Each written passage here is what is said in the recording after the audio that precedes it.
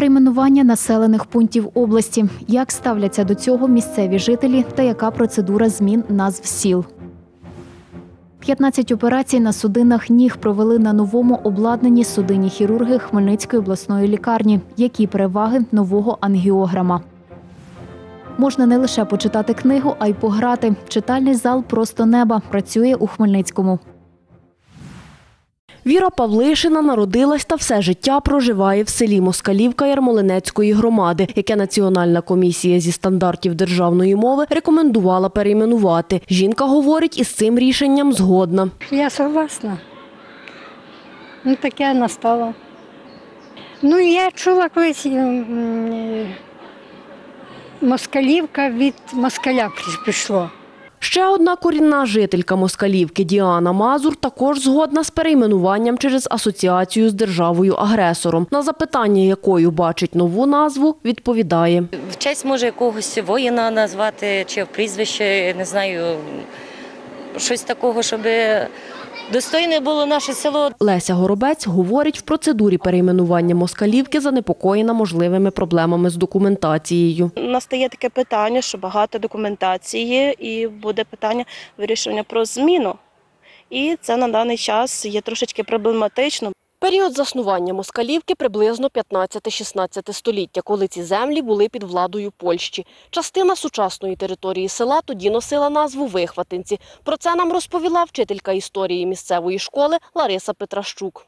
Коли м, уже тут на ці землі прийшли російські завойовники, то, ем, мабуть, що назва села пов'язана з ем, назвою е, солдата російської армії, москаля, як тоді називали, що він поселився в е, віддаленій частині від села Вихватинці. І, мабуть, що з того часу почалося так називатися це село тому що саме від цієї назви. Згодом село розширилося і е, збільшилося, і з'єдналося Вихватинці і Москалівка стали е, єдиним цілим. Нині Москалівка є центром одного зі старостинських округів Ярмолинецької громади та об'єднує кілька сіл із населенням понад тисячу жителів, говорить староста Майя Бойко. Москалівка, Коритна і Верхівці. В Москалівці, центр села е, в Москалівці знаходиться школа, в якій нараховується 100 дітей, е, дитячий садочок, е, будинок культури, пошта. Староста каже, поки конкретних вказівок та роз'яснень стосовно процедури перейменування села місцева влада не надавала. Адвокатка Руслана Слободянюк розповідає, за висновком Національної комісії зі стандартів державної мови, територіальна громада рішенням сесії може перейменувати населений пункт, але при цьому обов'язково має передувати громадське обговорення серед його жителів. Неврахування думки жителів є підставою колективного оскарження перейменування в суді, говорить адвокатка. З'явилась ініціатива когось, наприклад, щодо перейменування. е, Потрібно, щоб орган місцевого самоврядування це оприлюднив себе на сайті. Е, Всі інші його бачать, обговорюють і дивляться, чим це підходить чи ні. На громадському обговоренні жителі населеного пункту також мають право самі обрати нову назву, якщо вона не суперечить нормам української мови та чинного законодавства. Можливих проблем із документацією після перейменування Руслана Слободянюк говорить, не вбачає. Немає законодавчої вимоги стосовно зміни ем, всієї документації кожного мешканця громади.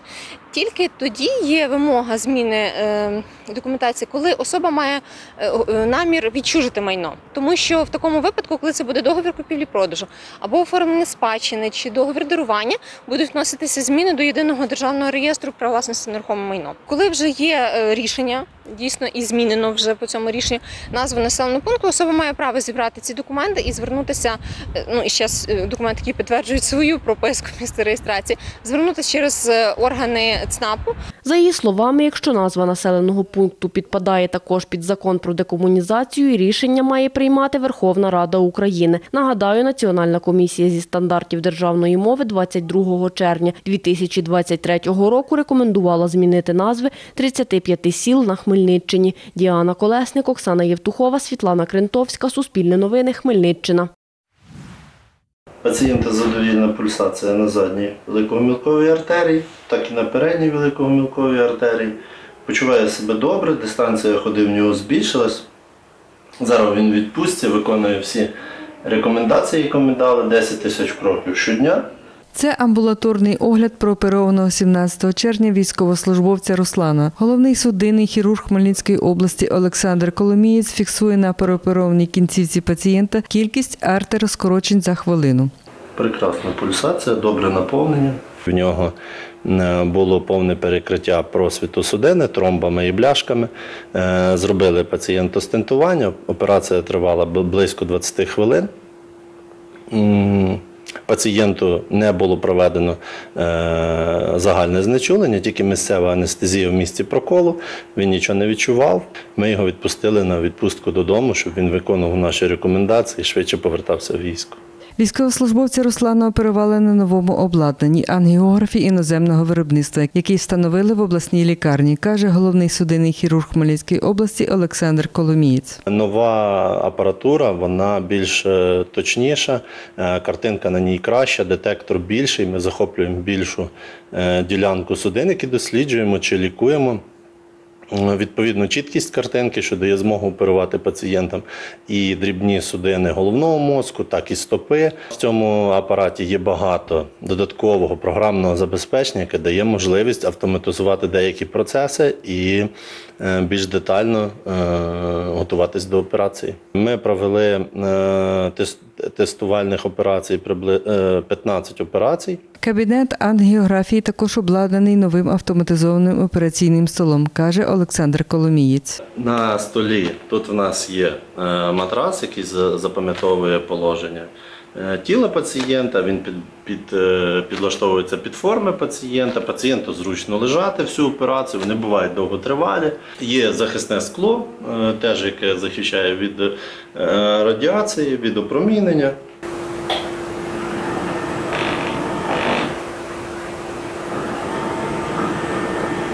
За словами директора Хмельницької обласної лікарні Якова Цуглевича, на закупівлю нового обладнання витратили 8 мільйонів 400 тисяч гривень через державні закупівлі та 840 тисяч взяли на ремонт і придбання медикаментів та хірургічного інструментарію з обласного бюджету. Тетяна Ворожцова, Оксана Євдухова, Суспільне новини, Хмельницький.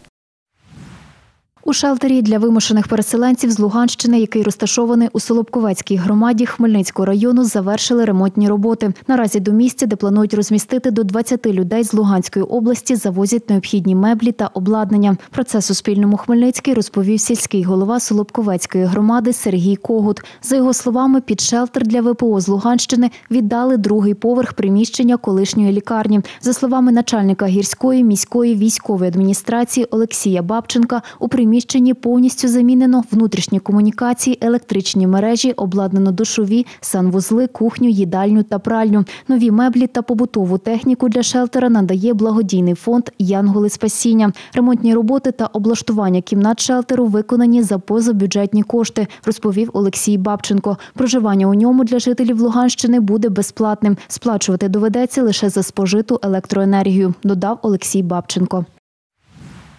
Я тримаю, ти малюєш. Так, ще, мабуть, йому треба лапки. Да. Давай. Так. І хвостик? Да. Давай хвостик. Ой, клас. Все, слоник готовий. Давай п'ять. Отак. Менторка проєкту Співдія Оксана Береська разом із трирічною Магдаленою малює в літньому читальному залі. Для його відвідувачів, каже Оксана, щоразу готує нову програму. Хтось хоче гратись в рухливі більше ігри, хтось поскладати, хтось щось. Дивимося, що діткам цікаво, те вже відповідно і граємося з ними. Літній читальний зал працює при обласній бібліотеці для юнацтва. Відкривають його, за словами заступниці директора закладу Віри Тарчевської, десятий рік поспіль, аби заохотити містян до читання. Ми виходимо щороку на вулицю і тут виставляємо наші кращі зразки наших книг. І е, ви знаєте, додатково до нас е, упродовж літа записуються, ну, мабуть, е, з 500 дітей, тому що приходять, от ви бачите, з мамами, з татами, з бабусями, бачать таку яскраву картинку, а тут ще можна пограти в настільні ігри, а поряд пропонуються книги. Прийшов з дітьми до літнього читального залу хмельничанин Назар. Зараз е, просто онлайн все майже. е, Дуже мало в дітей контакту, і це ну, нам нашій сім'ї це найважливіше, щоб у дітей був ну, контакт з іншими дітьми, якась дійсно співдія. Син Назара, восьмирічний Лука, каже, тут знайшов друга. Найбільше мені подобається грати з е, Жори. Це мій друг. Сьогодні теж прийшов.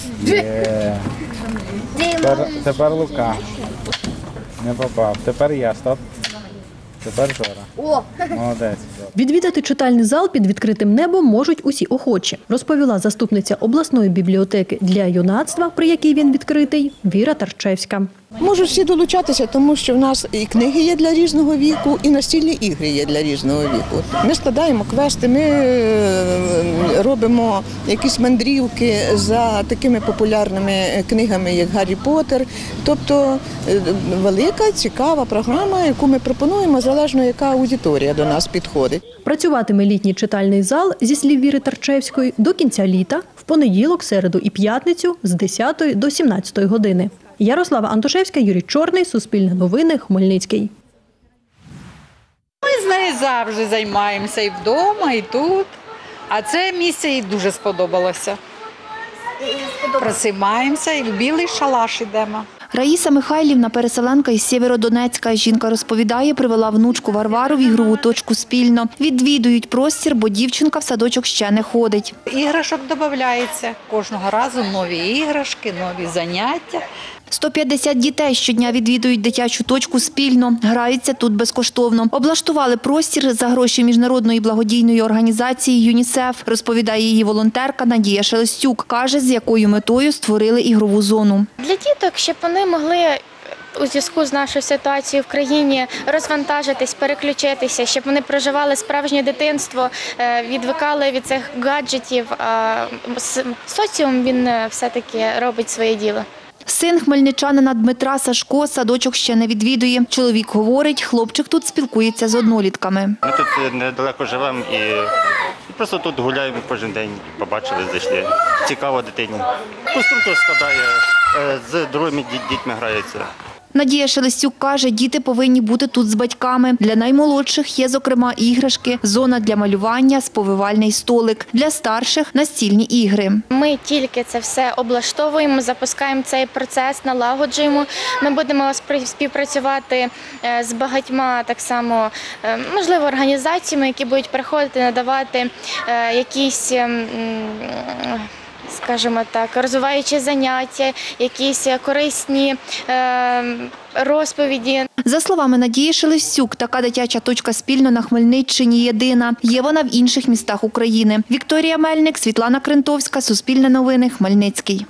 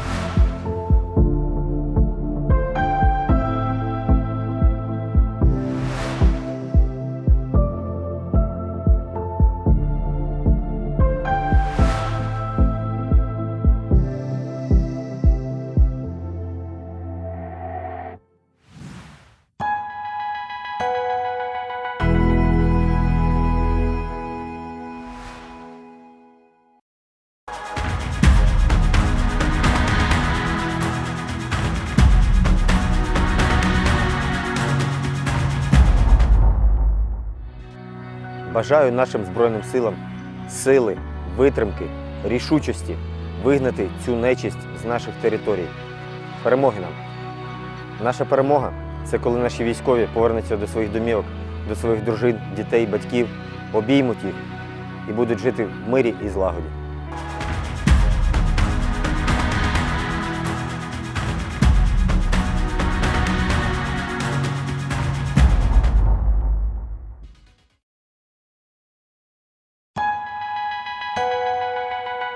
Ви дивитеся Суспільне Хмельницький. Підписуйтеся на Суспільне Хмельницький у соцмережах. Час дізнатися найважливіші спортивні новини від команди Суспільне спорт. У студії для вас працює Юлія Пазенко.